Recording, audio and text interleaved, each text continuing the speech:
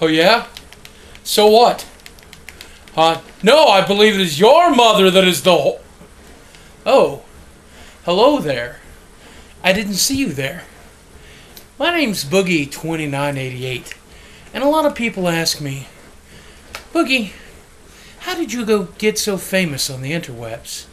Well, with this interactive tutorial, you're about to find out.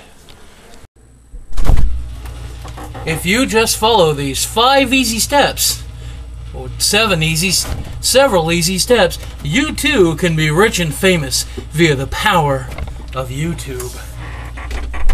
You're going to need a lot of basic tools and essentials, such as an internet maker, a video camera, a machine that can give you access to the internet, another video camera, and a video camera. You'll also need a YouTube account, but hey, that's easy. Mr. DeCastro, I'm baking up another batch of YouTube gold.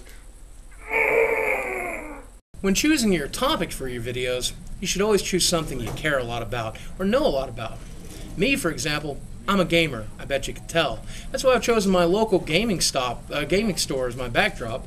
I, I'm knowledgeable about these kinds of things: board games, role-playing games, World of Warcraft, and of course my favorite, Magic the Gathering. I like to think I'm a bit of an expert when it comes to this stuff. When choosing the location for your video, make sure it's a nice one.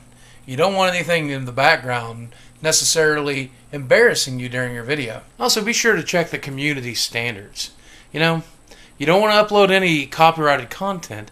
You don't want to do anything to break the community standards. And most importantly, you don't want to do anything to upset those god